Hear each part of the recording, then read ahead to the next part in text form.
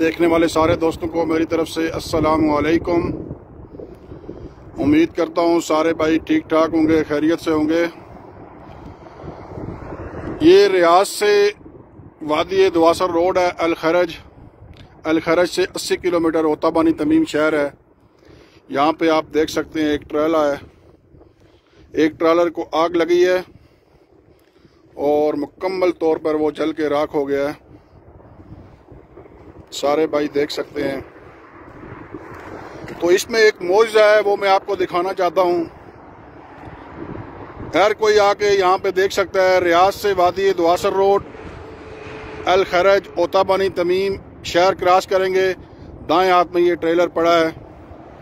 तो इसमें एक मुआवजा है, जो मैं आप सब भाइयों को दिखाना चाहता हूँ। ये देखें अल्लाह मसल नबी, या हबीबी।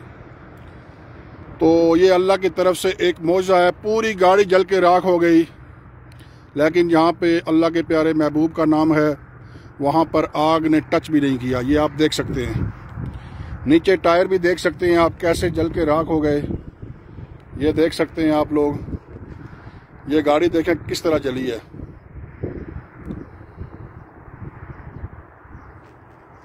ये मेरे अल्लाह की तरफ़ से एक मौजा है सारे भाई देख सकते हैं।